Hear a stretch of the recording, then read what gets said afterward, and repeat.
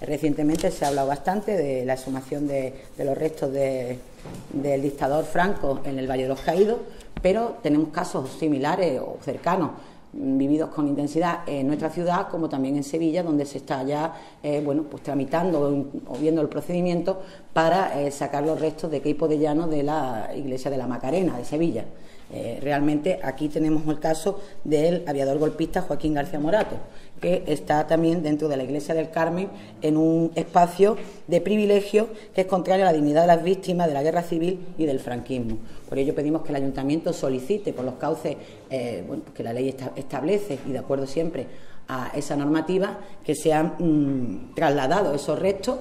y, de alguna manera pues se cumpla el mandato de la ley de memoria democrática y, acabemos con bueno, pues este tipo de,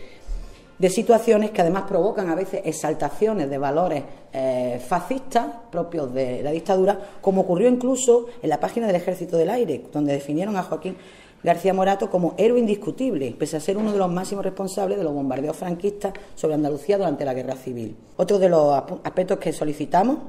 es que a través de la Comisión Histórica se siga impulsando y agilice los trámites para eh, quitar las calles de, denominación eh, contraria a la ley de memoria democrática y, bueno, ya sabíamos que habíamos priorizado la de Avenida Carlos Haya e incluso se había hablado en la, comisión de que ya se, hubiese, se, realizasen las acciones previas al cambio de denominación, porque es un proceso largo cuando son calles importantes y con muchísimos comercios y, y viviendas residenciales. Bueno, pues también creemos que para la Avenida Joaquín García Morato es importante que sea eh, una de las primeras en actuar. También pedimos que se celebre el 14 de junio eh, cada año como el Día de Recuerdo y Homenaje a las Víctimas del Golpe Militar y la Dictadura, con actos institucionales que incluyen exposiciones, charlas, presentaciones de libros, etcétera, en recuerdo y homenaje a las víctimas y también, sobre todo, para la formación y educación de las nuevas generaciones que poco conocen de lo que de lo que ocurrió en este país y que del cual pues, seguramente hay que seguir aprendiendo.